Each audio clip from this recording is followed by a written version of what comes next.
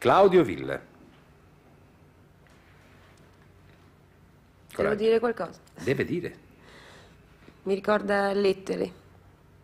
Le ricorda? Mi ricorda delle lettere. Delle lettere. Sì. Delle lettere scritte da qualcuno a qualcuno. Scritte dai fans di Claudio Villa a lui. Vedremo. Cioè, mi è rimasto impresso. Grazie. Rotocalco. Rotocalco, flirt. Mi scusi? Mi ricorda il flirt. Flirt. solo di flirt i rotocalchi. Grazie. Marijuana. Sigaretta. Grazie. Tre domande, tre risposte, firmate da un nome della musica leggera. Ve lo presentiamo immediatamente. Mia Martini. Serata quindi dedicata ai, ai giovani, ai giovanissimi, perché suppongo, signorina, lei abbia la sensazione di trovarsi di fronte a un antico romano questa sera, no? Eh, eh, parlo di me, il professore è assai più giovane, No. o comunque a due persone così, eh, che appartengono a un altro pianeta, a un'altra sfera, a un altro eh, evo geologico, ma per eh, addolcire appunto questa sensazione da Senato che non volevamo eh, fosse così preminente, abbiamo chiesto ausilio a una giovane, eh, gentile collega, la signorina Fornaciarini. Ciao Mia. Ecco, ciao Mia, vedete come è molto più disinvolto il rapporto di Radio Gioventù qui eh, da Lugano. Ciao Mia, noi non riusciremo, almeno io personalmente non riuscirei mai a dire ciao Mia. Eh, lei trova che sia male, signorina Mia? Mi mette molto in imbarazzo dare del lei a qualcuno. Vuol darmi del tu? Se lei permette. Ma anzi, io gliene sono grato, dovrà soltanto concedermi di continuare a darle del lei perché io mi troverei in imbarazzo per gli stessi identici motivi dando del tu a lei. Poi magari il allora, professor allora ci Antonini... diamo del lei tutti. No, no, no, no, no, Ma no. io non posso dare del tu a una persona che mi dà del lei. Davvero? Sì, mi rimane difficilissimo. Ma no, la prego, la prego, mi dia, mi dia realmente del tu. Dunque, incominciamo allora a, a parlare così delle sue origini. Canta da quanto deve concedere a degli antichi romani queste curiosità? Ecco, da quanto tempo? Canto da, da 14 anni. Mm. E eh, da 14 No, anni. da quando aveva 14 anni. Ma io adesso ho 27 anni, quindi Ah, da quando aveva 13 anni? 13 anni. Sì. Ecco, e incominciò a cantare eh, eh, in quale occasione, signorina mia? Sono andata a Milano in treno e ho cercato così di avere un provino da una casa discografica. Sì. Veniva questo concesso. treno eh, da dove? Da Ancona. Da Ancona. Lei non è però marchigiana, se no? No, io sono calabrese, Di dove? di Bagnara Calabria. Ah, bellissimo paese, il mare viola da quelle parti. Sì. no? Ecco. E dicono che Bagnara sia una città dove lavorano le donne, è vero? Sì, c'è è una, vero. C'è una tradizione, se non Sì. sbaglio, no? Cioè, eh, non so quanto eh, veritiera, ma comunque che le donne di Bagnara sono un po' quei capofamiglia. Sì, infatti le donne lavorano moltissimo, portano delle cose in testa. Sì. Una volta ho visto perfino delle donne portare dei binari di treno in testa. Ecco. Oppure fanno le ceste, Sì. so, i mariti invece bevono, stanno al bar. Oppure alle volte devono emigrare, lavorare fuori e, Sì, anche. e quindi la donna assume, come spesso capita in alcuni paesi del sud, il ruolo di capofamiglia. Purtroppo spesse volte insieme al mulo o al muletto. no? Senta, mi pare che le sue canzoni a proposito del ruolo della donna abbiano sempre come tema quello della donna non sospirosa che dice amore mio perché te ne sei andato e via dicendo, ma della donna che tutto sommato questa partita a, a carte con l'uomo eh, la vede vincitrice, o sbaglio?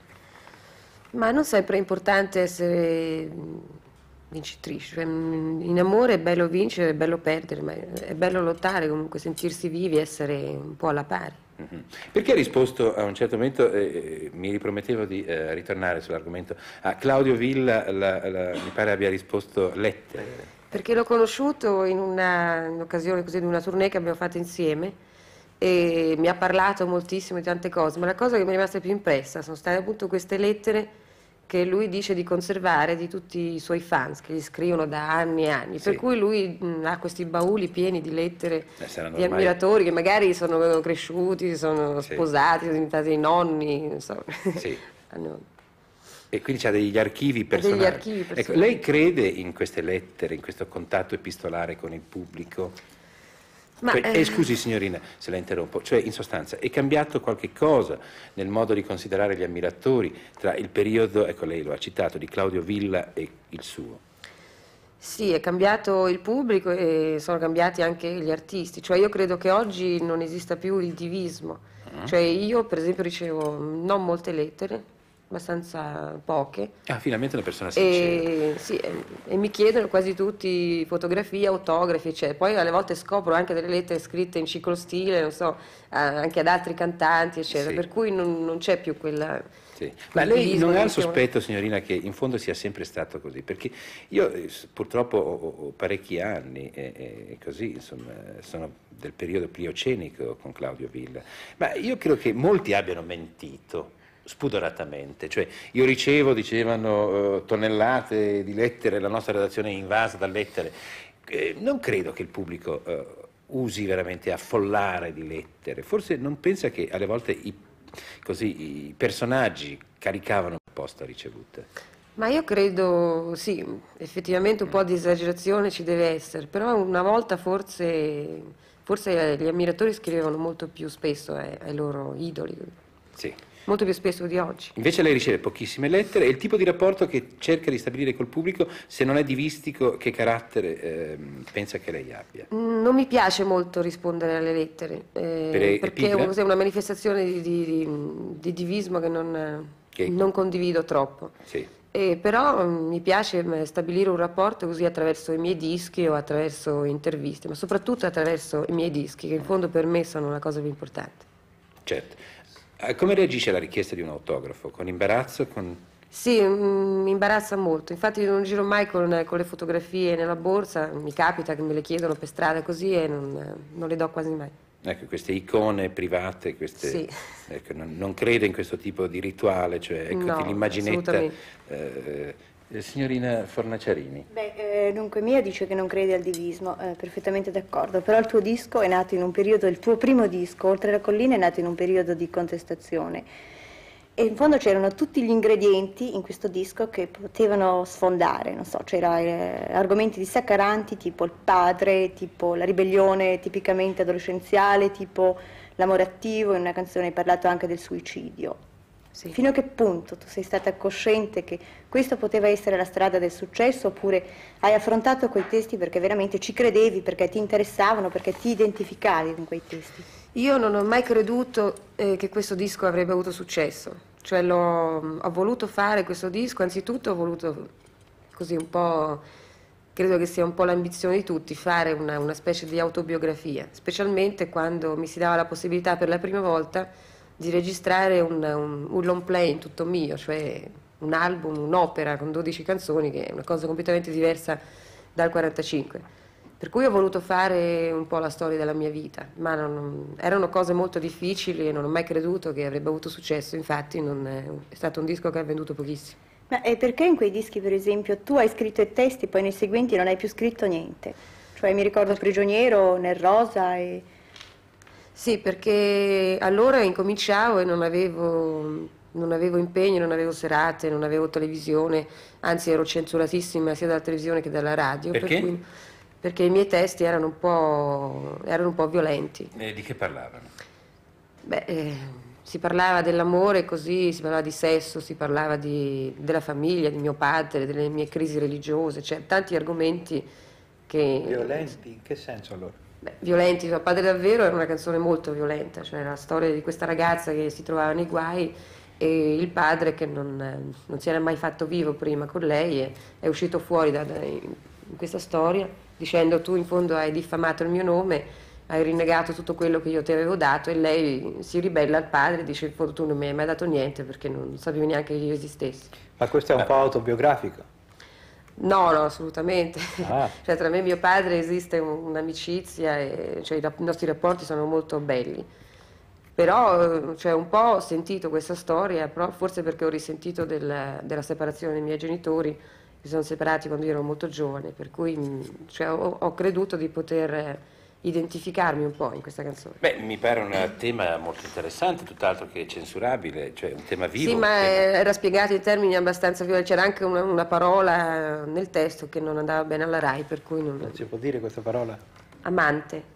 Ah, Ah, ho capito, ah, molto Interessante. interessante. Molto cioè, interessante. Ho capito, va bene, e, e continuiamo. E invece... Cioè bisognava cambiare il testo di questa canzone io non ne mi sono rifiutata, cioè c'era una frase che diceva eh, sarebbe grande sentire il parere della tua amante e c'era un- un'altra frase bellissima per me eh, che diceva appunto Mi ricordo quando con mia madre, in, quando con mia madre dormivi nel fieno in aprile e lei era, era di me era piena.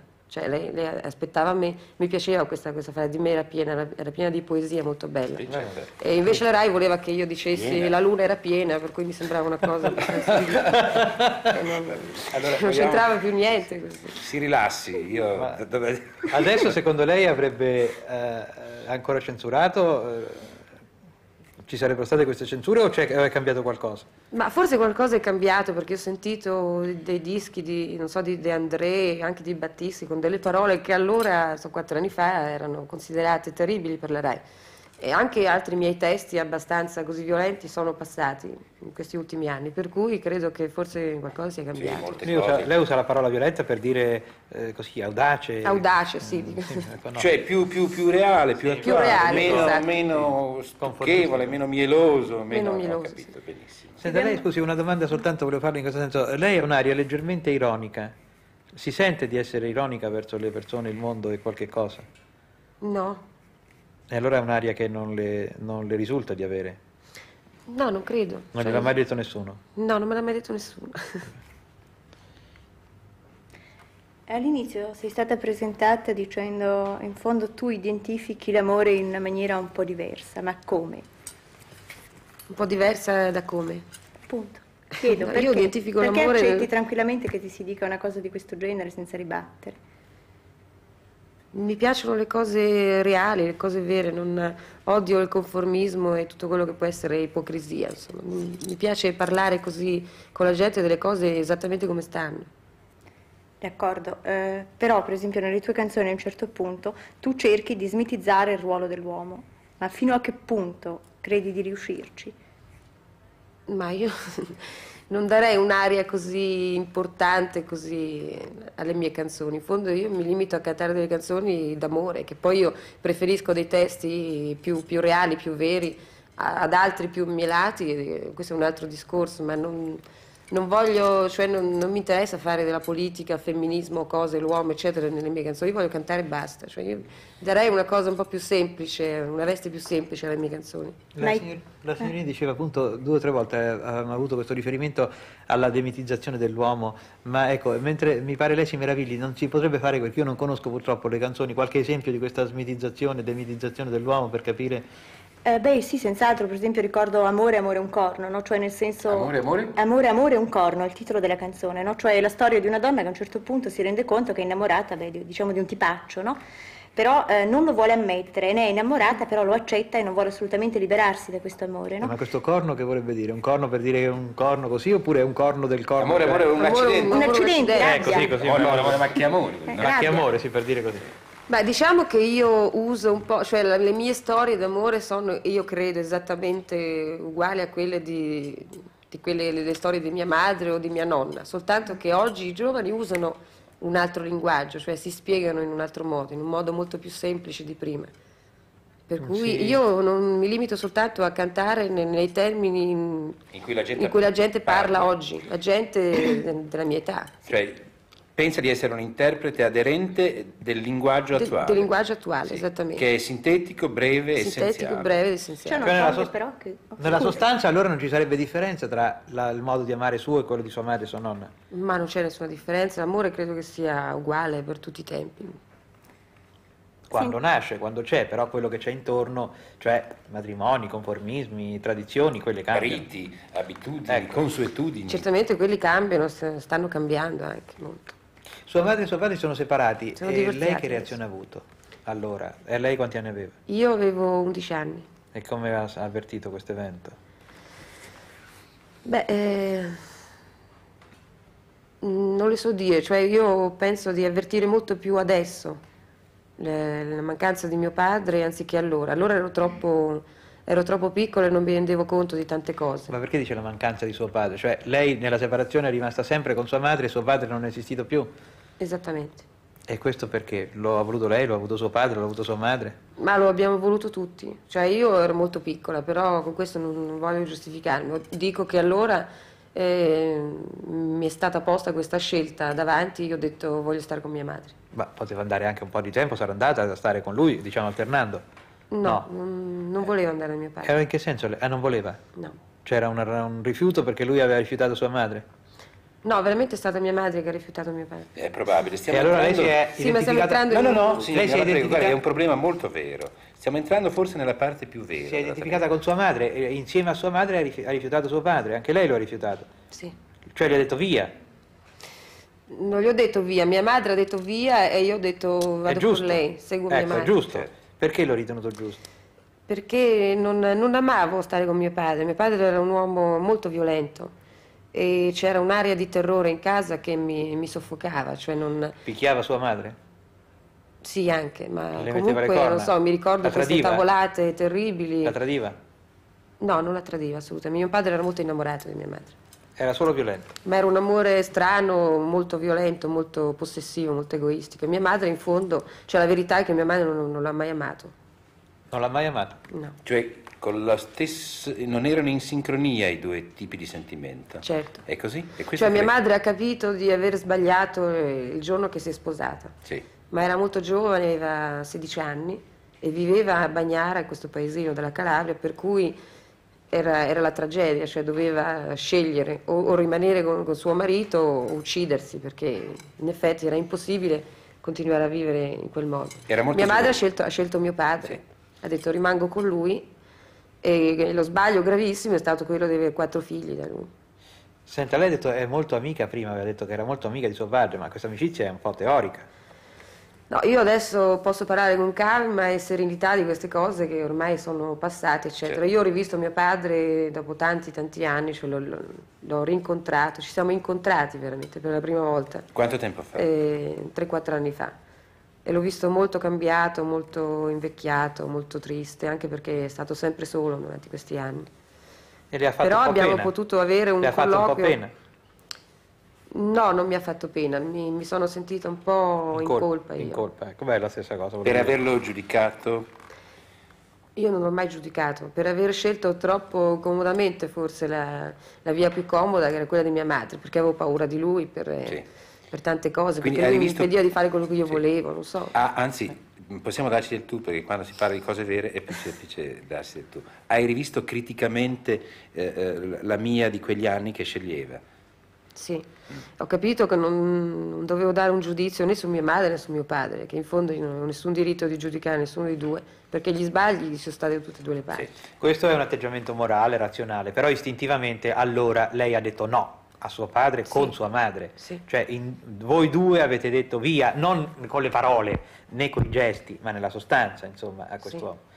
Secondo lei, nel suo rapporto reale, attuale con l'uomo, con gli uomini, questo tipo di rapporto con la figura paterna, con suo padre, ha pesato e come? Cioè Ma- lei pensa di essere stata condizionata da questa esperienza? Senz'altro sì, però direi favorevolmente, cioè mi sono trovata sola a dover, a dover scegliermi la mia strada, a dover affrontare la mia vita, Questo per cui sì, ho fatto degli sbagli pazzeschi, ho avuto delle sì. esperienze incredibili. Questo sì, ma lei da che tipo di uomo è tratta? Da un uomo violento o molto No, pacifico? assolutamente. Cioè la Odio la violenza le dà violenza. fastidio? Mi dà fastidio La possessività non la sopporta? No. La gelosia le è into- intollerabile? È intollerabile. È chiaro. Che differenza c'è tra vita privata e vita pubblica per te? Al Io momento non- attuale ti scoccia raccontare queste cose? Io non, non so, non, non credo di avere un- una vita privata, una vita, io una vita e basta, cioè vivo, quando canto sono, sono io, sono me stessa, non- e, quando, e quando sto da sola con i miei amici sono me stessa allo, nello stesso modo, Cioè ti identifichi sempre nella stessa persona? certo. Sbagli pazzeschi, quali? Un esempio. Veloce. Ma per esempio quello della droga. Ma con l'uomo? Con l'uomo no, non, non rinnego nessuna esperienza che ho avuto con gli uomini, sono, sono sempre stati, ho dei ricordi bellissimi. Ricordi, quindi tutte cose un po' chiuse, cioè eh, parentesi che si sono aperte e si sono richiuse. Certo. Eh, ha parlato della droga velocissimamente e così eh, eh, quasi quasi fuggendo. È un'esperienza risolta? Sì, cioè non è che io, io ho voluto provare così a fumare, perché mh, così fumavano tutti, volevo provare anch'io. È un po' una stupidaggine quella che ho No, detto, così una- mi sono trovata per tante, per tante cose a, a- a dover fumare questa sigaretta. E mi era rimasta nella borsa così andando in un locale in, in Sardegna è arrivata la polizia che ha fatto perquisizioni eccetera per cui mi hanno arrestato. Mi hanno arrestato con l'accusa di traffico e poi hanno scoperto facendo indagini che in effetti non, non c'entravo niente che era solo detenzione per cui sono rimasta in carcere per un po' di tempo poi mi hanno liberato Purtroppo il tempo credo che stringa e dobbiamo Ahimè. usare il pantografo. Sì, certo. Allora c'è un pantografo, c'è una matita, eh, puoi scrivere la parola eh, che eh, ti viene in mente. Devo Parola o Qualunque frase essa, breve? frase breve. La prima che è così a caso.